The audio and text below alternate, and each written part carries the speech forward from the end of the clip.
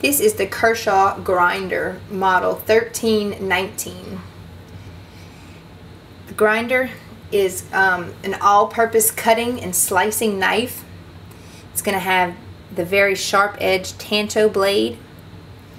You'll see these unique curves just continue the whole way there until that sharp Tanto blade. I love how it curves on the bottom and the top of that blade.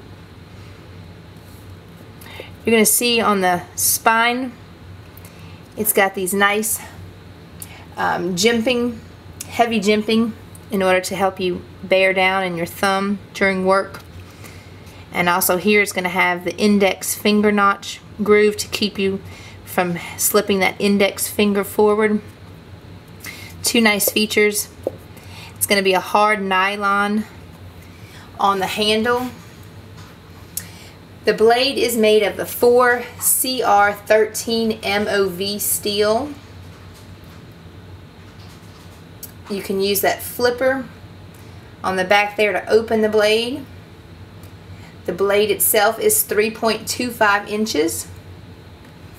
Open here from tip to end is 7.75 inches. Weighing in at four and a half ounces. Has a nice liner lock system here where you just push down, close that in. Pocket clip can be reversed from up to down carry and also you'll see the holes there too um, from front to back.